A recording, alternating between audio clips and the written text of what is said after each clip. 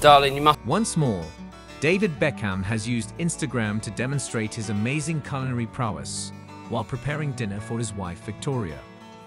The former Spice Girl wasn't eating when the former Manchester United player showed off his delicious chicken stew to his 88 million admirers on social media.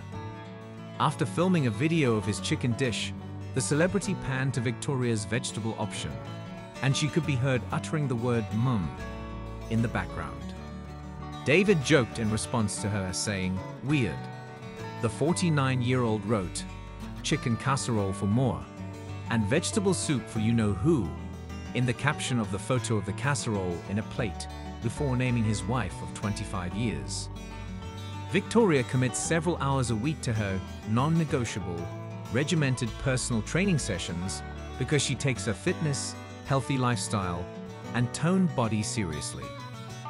Actually, according to a previous disclosure by David, his wife has eaten the same thing for the last 25 years. Since I met her, she only eats grilled fish and steamed vegetables. The father of four disclosed in an interview with the River Cafe Table 4 podcast. Seldom will she stray from that. But Victoria has made it clear that her culinary preferences are more varied than her spouse had previously suggested.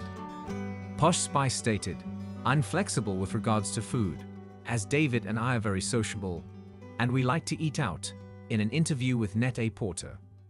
She then went on to discuss the advantages of eating healthfully. But when I do eat correctly, I feel the change in my skin.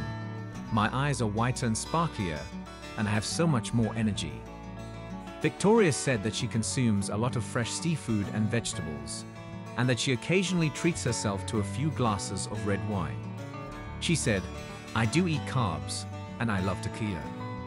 The former England football player didn't take a break from his culinary duties this morning.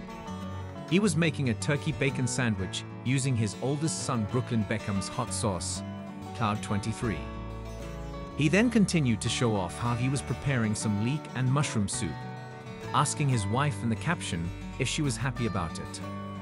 They celebrated their 25th wedding anniversary earlier this year, proving that the couple is still going strong. The couple recreated their wedding pictures and wore their famous purple wedding attire to commemorate the big day.